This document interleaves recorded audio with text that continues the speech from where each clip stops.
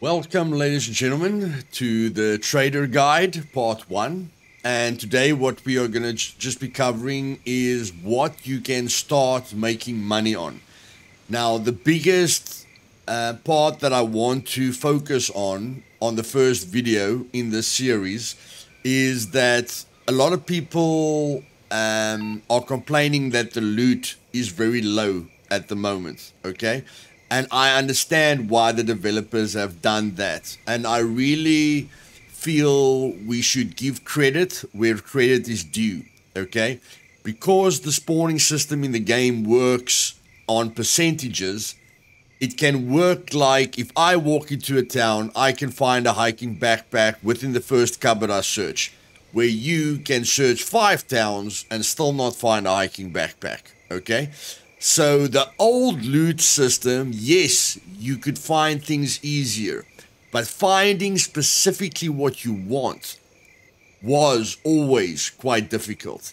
Now with the trading system, you can pick up all the items that you usually wouldn't pick picked up because you don't want to use them.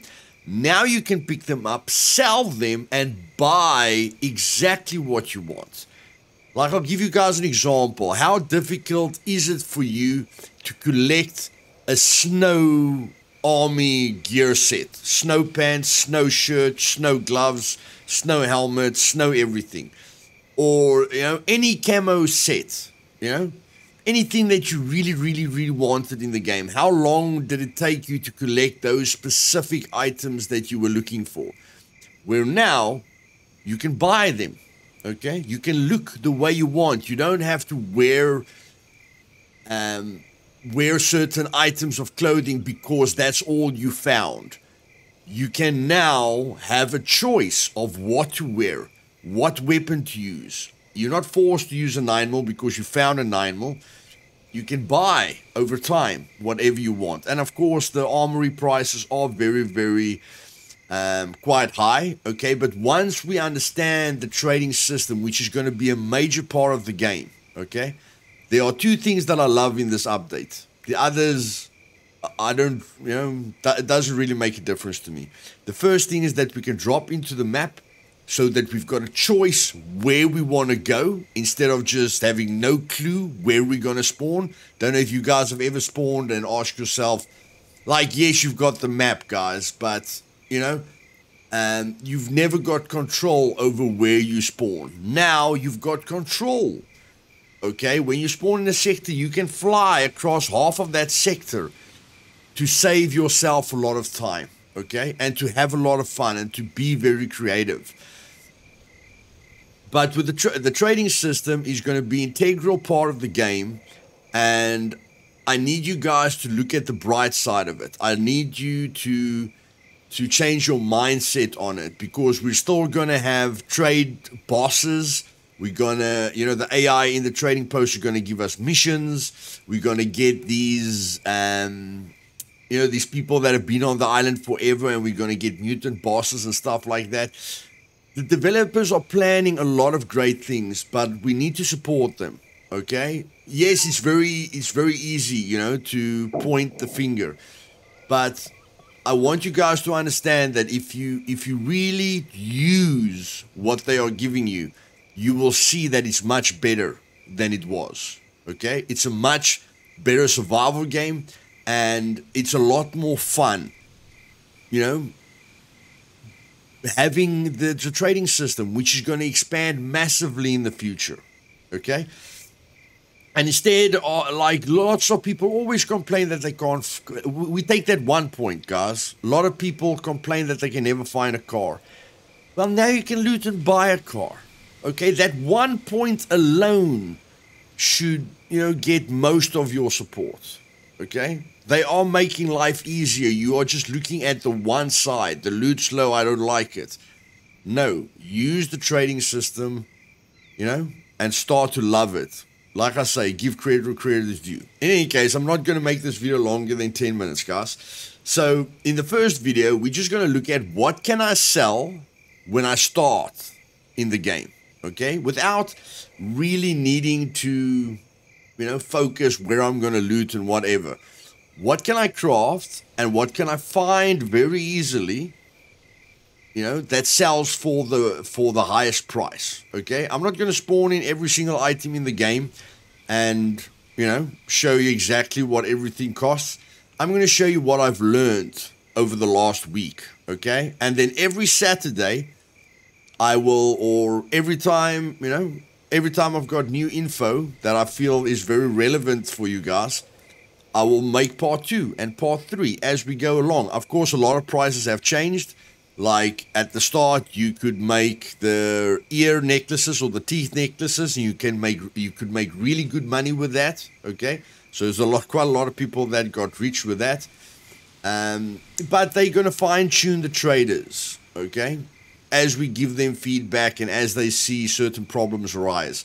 I do feel that the m82 ammo might be a problem in the future. I think it is a little bit too cheap looking at the big picture um, but for now, I'm quite happy. Okay, so let's just start at the general store, guys. When you start with the game, you can find an animal quite easily.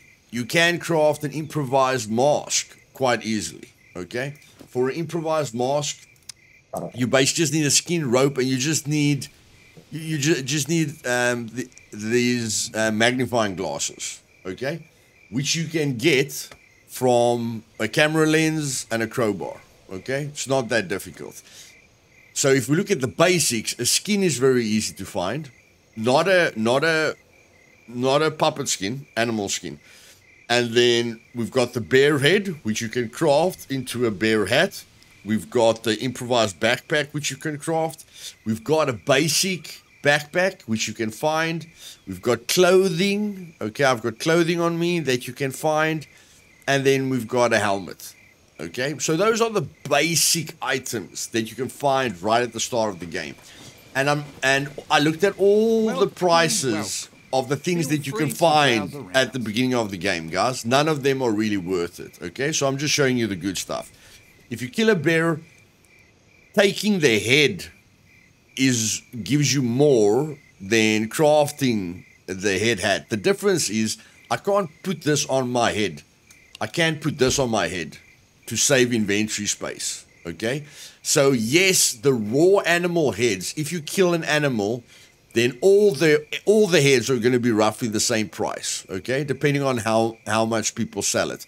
But all the heads are going to be are going to be roughly the same price. So if you find an animal with a very small head, they're all going to sell for the same price. But if you turn them into a hat, you are going to lose a bit of value okay? Except that if you put the thing on your head, you're saving a lot of inventory so, space. What will it be? This improvised backpack is quite easy to craft, okay? I've crafted quite a few in the last few days. You just need rope, which you can get from puppets. You need rags, which you can get from puppets because you search them, you cut up their clothing. You need um, improvised rope, which you can also cut up their clothing and make improvised rope. And then you, it's basically just a sewing kit, guys. That's the difficult part, okay? Just a sewing kit. So these are quite nice, okay? And they don't take up a lot of space. I mean, it's a three by three slot, you know, which is really, really good. Then the motorbike boots again, boots that I usually never wear, but now I'll now I'll pick them up. Okay, I'll pick them up because they were they're worth quite a bit. Then of course your jacket, you it's uh, worth a bit. The helmet, but again, when you're looking at clothing, guys, I like to pick up small piece of clothing, shirts, pants. You know, something that I can really put a lot of items into a hiking backpack, which makes a huge difference. So at the beginning of the game, we're looking at basically the skin, the head, you know, the mask, and of course you can, you know, you can craft the bear gloves as well okay? If you want a little bit of extra profit on that. So you wear this and you wear the gloves, you know, then you're carrying about 300 bucks on you. You can craft this. This isn't really worth it for me because be? this is the same price, but this takes a lot more space. Okay? So I don't really like that item. So what I'd like you to focus on is, um, you know, skin, um, bear heads, um, you know, if you kill an animal, you know, focus on its head. If you can craft this, Okay, and and collect clothing, guys. It's going to help you quite a bit. Okay, clothing is worth quite a bit. And then one thing that helped me quite a quite a bit is that crossbows don't cost a lot. The crossbows aren't that difficult to craft. Okay, just want to quickly see where I am. Uh, okay, so so for all your crossbow for all you crossbow fans, this is not bad at all. Okay, again, I'm just looking at items which you can craft and find quite easily at the very start of the game. In the next video, we will cover items that you can find, you know, within the first three days. And then the third video will be items that you can focus on, you know, when you're geared, you know, and you get high tier loot. That thing registered. But for now, Kidding. the bow, Nobody the best cares. bow that you can craft only goes for $2. Okay? A crossbow, improvised crossbow goes for a $100. Okay? Which is really, really good. And then, of course, uh, metal axe goes for $100, $100 as well, which you can sell at the armory. Okay? So these are these are a few things that I've used. Of course, there's a lot of items in the game, but I don't really look at items under $100, guys. I focus on items that gives me from 100 to 1000 okay? And then to 2000 so i don't really focus on items that give me less than 100 and as you guys saw most of the items i showed you you know gives you 100 at a time. And then again if we look at the improvised crossbow it's three long sticks a tree bark rope one rag and you can even use a puppet rag and a cutting tool uh, you know any kind of any kind of cutting tool. Very very extremely easy to craft. That's 100 100 100 100 okay that you're getting in all the time. And then the metal axe